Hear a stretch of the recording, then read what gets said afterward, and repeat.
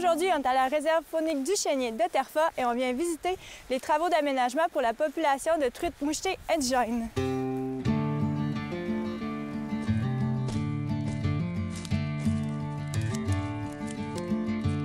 Comme vous le savez, la Fondation de la Faune chapeaute plusieurs projets de protection et de mise en valeur de la faune et de leur habitat. Je suis présentement à la réserve faunique de Duchesnier de Terfa avec Maxime, le directeur, qui va nous parler des initiatives qu'ils ont sur leur territoire.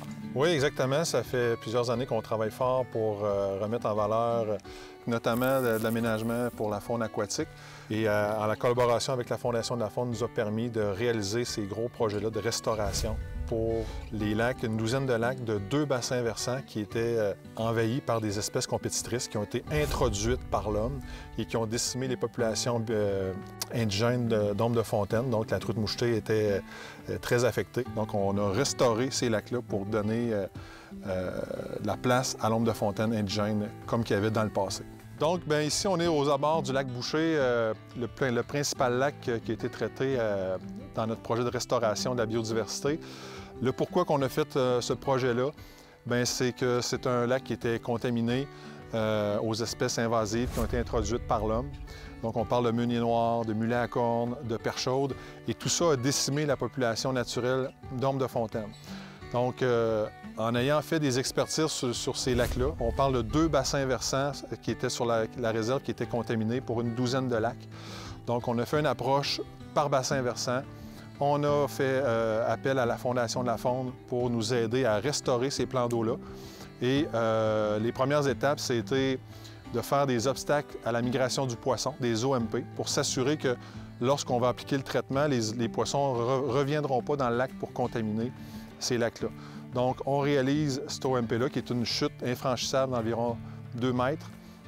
On applique le traitement avec des spécialistes euh, du, produit. C'est un produit qu'on doit utiliser avec euh, parcimonie. C'est de la roténone. C'est un produit biodégradable, mais qui va affecter euh, les poissons à la, dose qu'on va utiliser, qui va affecter seulement les poissons. Parce que comme on a pu voir tantôt, lorsqu'on soulève les roches, toute la vie a survécu. Donc les larves d'insectes, les sangsues, les écrevisses. Le lac a, bien, euh, réagi à tout ça, c'est sans problème.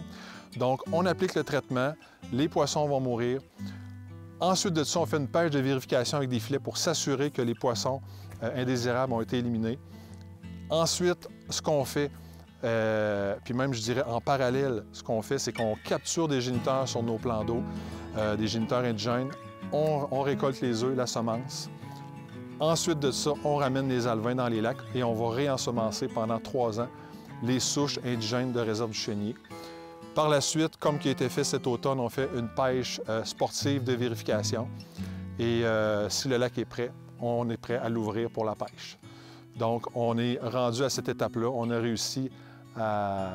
le taux de réussite est exceptionnel, même qu'on a réussi à réensemencer des anguillettes en collaboration avec euh, le ministère Forêt, Faune et Parcs qui viennent réintroduire des, anguilles qui sont, euh, sont, dans des petits stades pour les faire grossir. La collaboration anguille-ombre de fontaine se fait très bien.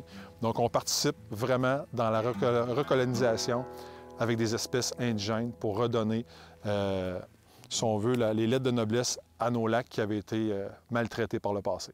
Parfait. Fait qu'on va aller faire un petit tour des différentes initiatives. Exact. Allons-y. Je te suis.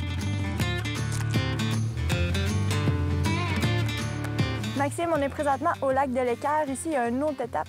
Oui, effectivement, on est, on est au premier lac qui a été restauré. Puis euh, on va aller voir une des premières étapes dans la restauration qui est l'aménagement d'une chute infranchissable, un OMP, en fait, un obstacle à la migration du poisson. Allons-y. Allons-y.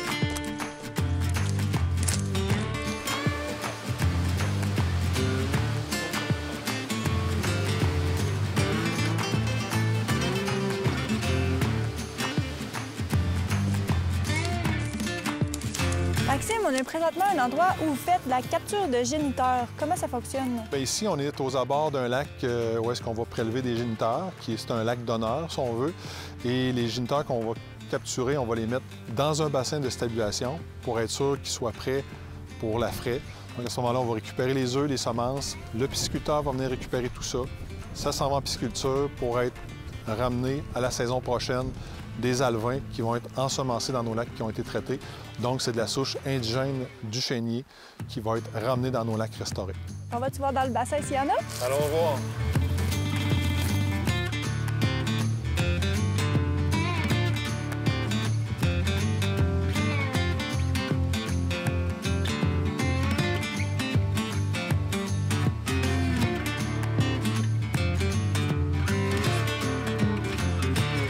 Merci Maxime de nous avoir fait visiter les travaux d'aménagement faunique. C'était vraiment très intéressant. Ça nous a fait plaisir. On est toujours content de montrer les, les belles choses qu'on peut faire en partenariat avec la Fondation de la faune du Québec, qui nous aide beaucoup dans nos projets d'aménagement et de conservation de la faune. Oui, puis d'ailleurs, si vous avez des projets de conservation et de mise en valeur de la faune, n'hésitez pas à les soumettre à la Fondation de la faune, puis visitez le site web de l'organisme pour en apprendre un peu plus sur eux autres. La Fondation de la faune du Québec est fière de vous avoir présenté cet aménagement faunique.